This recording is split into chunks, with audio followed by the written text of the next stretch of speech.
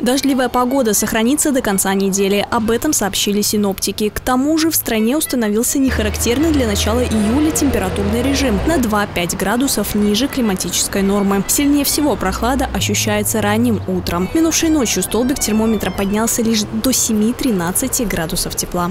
Непогода разгулялась в Подмосковье. В округе Руза из-за сильных дождей на реке Городенко прорвало дамбу. Два частных дома смыло водой, еще 30 затоплены. Эвакуировано 52 человека, среди них 7 детей. Пострадали 4 дороги, две из которых полностью размыло. В Луганской области Украины разыгрался лесной пожар. Стихия бушевала на протяжении нескольких дней с 6 числа. Ветер перекинул пламя на два близлежащих поселка. Повреждены 59 домов. Огонь Огонь унес жизни шести человек и еще 27 пострадали.